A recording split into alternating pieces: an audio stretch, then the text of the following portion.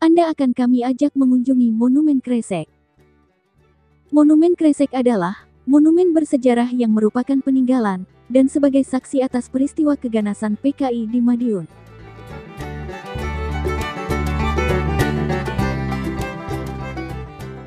Lokasi peninggalan sejarah ini memiliki luas 3,3 hektar, berada di 8 km ke arah timur dari kota Madiun, tepatnya berada di Desa Kresek, Kecamatan Wungu, Kabupaten Madiun, Jawa Timur. Terdiri dari monumen dan relief peninggalan sejarah tentang keganasan PKI pada tahun 1948 di Madiun. Monumen Kresek dibangun tahun 1987 dan diresmikan pada tanggal 10 Juni tahun 1991 oleh Gubernur Jawa Timur, Bapak Sularso. Monumen Kresek sekarang menjadi objek wisata yang sering dikunjungi oleh masyarakat dan populer di Kabupaten Madiun. Adapun fasilitas wisata yang ada di tempat ini, antara lain, pendopo tempat istirahat, taman bermain, balai pertemuan, kios masakan kuliner, dan dilengkapi pula area parkir yang sangat luas.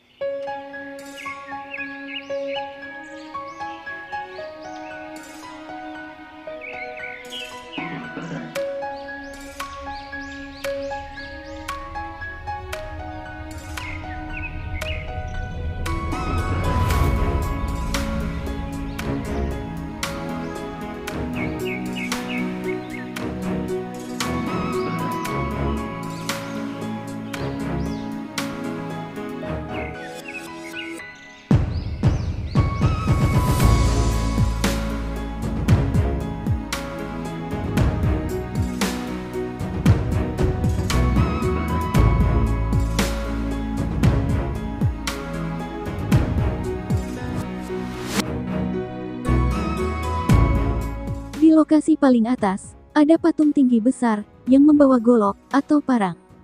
Patung tersebut menggambarkan seorang musuh.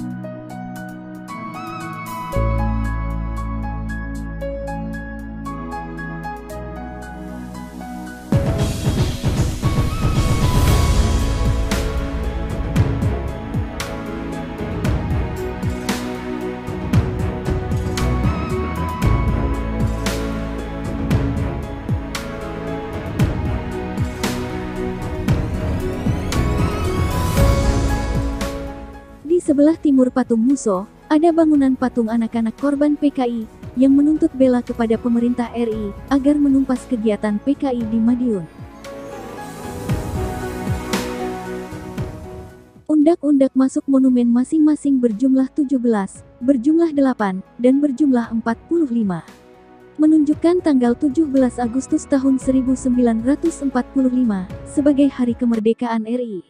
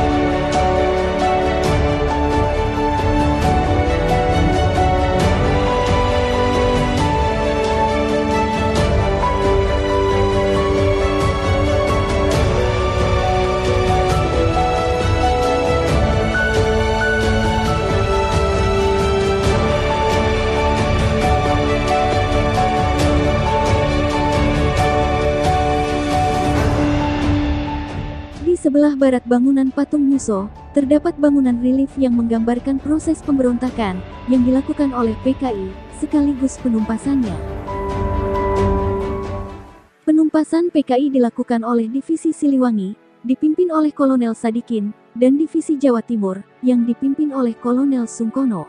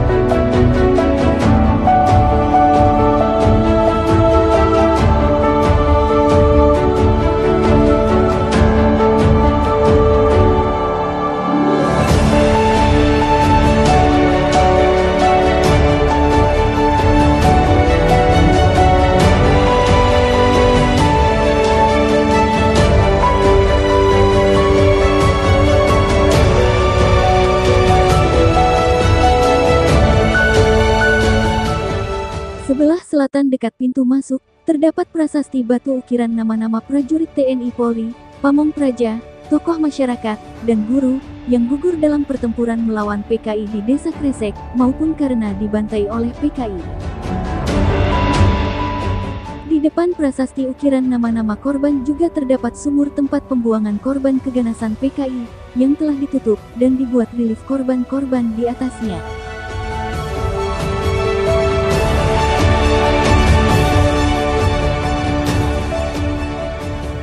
Marhadi adalah prajurit TNI berpangkat tertinggi yang gugur dalam pertempuran Desa Kresek, namanya lalu diabadikan menjadi salah satu nama jalan di Kota Madiun dan didirikan pula patungnya di alun-alun Kota Madiun sebagai bentuk penghormatan.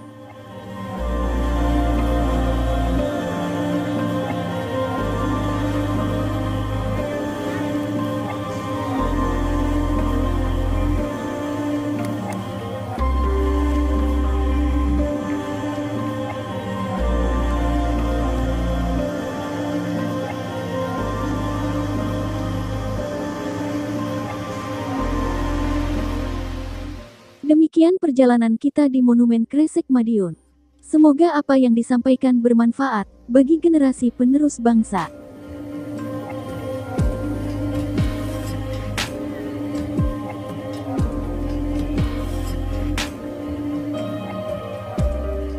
Saksikan video-video kami yang lain tentang keindahan alam Indonesia. Terima kasih.